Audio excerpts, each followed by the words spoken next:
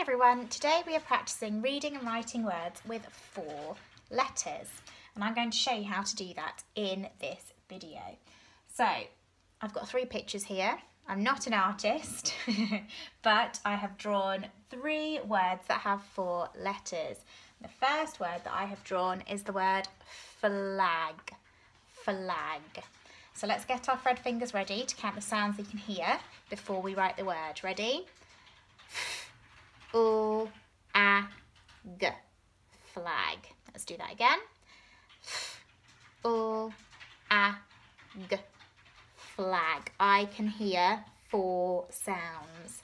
So I'm going to write those sounds again. U, A, G. Flag. Okay, now the next picture is of two hands clapping together. It's the word clap. Clap. Let's get our Fred fingers ready to count the sounds.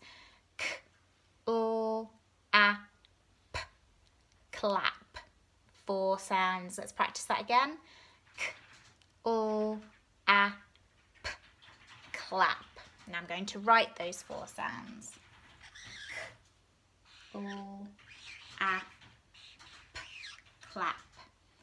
One, two, three, four sounds.